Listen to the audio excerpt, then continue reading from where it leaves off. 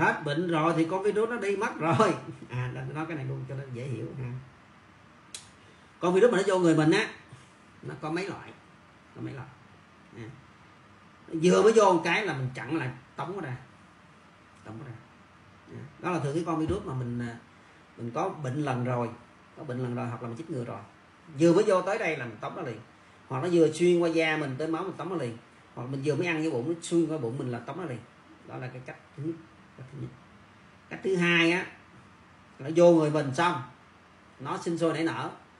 Mình chưa biết nó mình chưa biết nó thành ra mình phải quy động cái tế bào máu của mình á.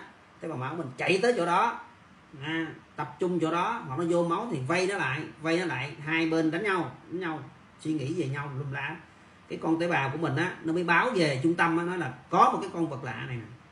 Có con vật lạ này nè. Làm sao phải sản xuất ra cái gì á? Để mà ép nó cho nó đẩy ra khỏi cơ thể mình. À, nó báo về trung tâm á thì cái trung tâm mới quy động máu tế bào này, này kia sản xuất ra một cái chất người ta gọi là kháng thể. À, lúc đầu á thì nó nhiều lắm. Đó là nó đang tăng lên nha lúc đầu nó nhiều lắm. Mình chưa sản xuất kịp thì mình phải để nó tăng thôi. Thì trong lúc nó tăng nó làm cho mình bị bệnh. À, tạo nên mình bệnh là tới năm sáu ngày sau tám ngày sau á, thì bắt đầu cái lượng cái lượng mà cái chất kháng thể mình sản xuất ra được á nó bắt virus lại không cho nhân lên nữa ví dụ mà một ngày nó nhân được 10 con đi lúc đầu nó nhân được 10 con nhưng mà sau đó mình tới vay lại ngày còn hai con ngày còn con ngày còn tới ngày hết luôn không có con nữa. Thì lúc đó nó không sinh được nữa. Nó không sinh được nữa thì đâu còn nữa. Con virus một con vô, vô trong cổ mình nó không gì nó sống hoài. Nó phải đẻ ra con khác là nó chết. Chứ đâu sống hoài được. Thì lúc mình không cho nó đẻ nữa không cho nó nhân đôi nữa thì lấy gì mà nó còn? Thì nó đẩy hết. Cái nhóm thứ ba đó là thường thường là cái nhóm nó lây qua đường máu. Ví dụ như gan C B đây nó vô người mình xong mình vay nó lại. Hai thằng ngang nhau nó trốn trong đó.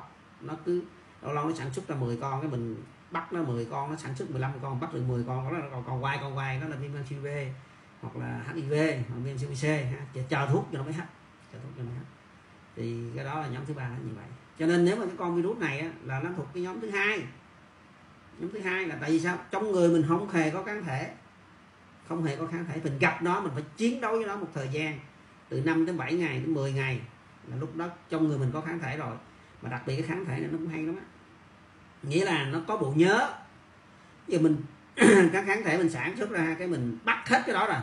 Bắt hết rồi xong đẩy ra ngoài rồi đúng không? Nó không nhân được nữa rồi tự nó triệt tiêu rồi. Thì cái bộ nhớ nó ghi trong trong cái cái, cái, cái, cái phần sâu của tế bào cái mấy cái, cái, cái gan lách rồi hạch của mình á. Thì nó có sẵn lập trình rồi con này vừa mới nhảy vô một cái là nhấn nút sản xuất hàng loạt cái kháng thể là không cho nó nhân lên nhiều được nữa. Thành ra